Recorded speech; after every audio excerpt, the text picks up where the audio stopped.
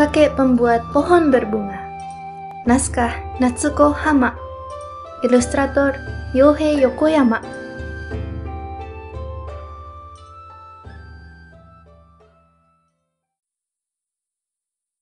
Pada zaman dahulu kala, hiduplah kakek dan nenek yang jujur.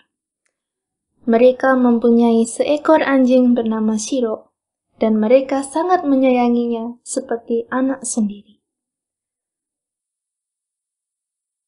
Pada suatu hari, kakek dan Shiro pergi ke gunung. Di suatu tempat, Shiro berhenti dan menggonggong menyuruh kakek menggali tanah. Kakek pun melakukannya dan menemukan pundi-pundi uang. Kegiatan kakek dan Shiro ini diamati oleh tetangganya, kakek yang tamak. Dengan tujuan meminjam Shiro, kakek yang tamak mendatangi rumah kakek yang jujur. Setelah berhasil meminjam Shiro, kakek yang tamak berkata, Shiro, ayo menggonggong, tunjukkan kepadaku di mana tempat pundi uang. Sesampainya di kebun, Shiro menggonggong dan kakek yang tamak segera menggali tanah. Tetapi, alangkah terkejutnya kakek yang tamak. Bukannya menemukan pundi uang, melainkan menemukan benda busuk di lubang galian. Kakek yang tamak sangat marah dan memukul kepala Shiro. Keletak! Shiro meraung kesakitan dan kemudian menemui ajalnya. Setelah kejadian tersebut, kakek dan nenek yang jujur menanam sebatang pohon di kuburan Shiro. Hari demi hari, pohon tumbuh membesar. Kakek dan nenek membuat lesung dari batang pohon tersebut. Keajaiban terjadi saat menumbuk beras ketan untuk membuat mochi.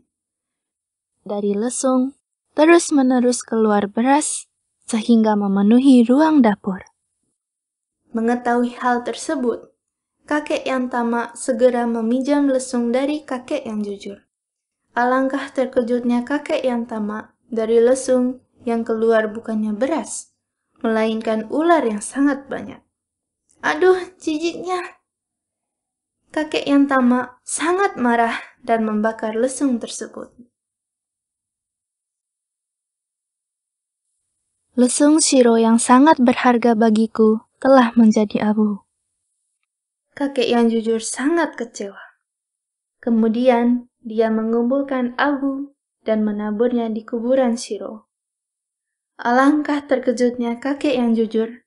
Bunga-bunga bermunculan dari pohon-pohon di sekitar kuburan yang terkena taburan abu tersebut.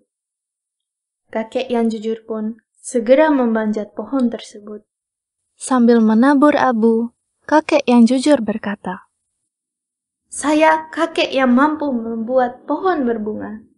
Pohon-pohon yang kering berbungalah. Bunga sakura, bunga pohon peach, bermunculan dan mekar. Pada saat itu, sang raja melewati jalan tersebut dan berkata, Wah, sangat mengagumkan. Sang raja pun memberikan kakek yang jujur hadiah. Kejadian ini dilihat oleh kakek yang tamak. Dia segera mengumpulkan abu dan naik ke atas pohon sambil berkata, "Saya kakek yang mampu membuat pohon berbunga. Ayo pohon-pohon yang kering berbungalah." Selanjutnya, raja berkata kepada kakek yang tamak, "Coba kamu buat pohon yang kering ini berbunga." Kakek yang tamak berkata, Baiklah, Paduka. Sambil menamburkan abu, kakek yang tamak berkata, Ayo berbungalah. Tetapi tidak ada satupun bunga yang terbentuk. Kakek yang tamak terus-menerus menaburkan abu. Tetapi alangkah sialnya, abu yang ditaburkan masuk ke dalam mata dan hidung raja. Dengan marah, raja berkata, kamu kakek pembuat bunga yang palsu. Wahai pengawal, tangkap kakek ini. Akhirnya, kakek yang tamak dimasukkan ke dalam penjara.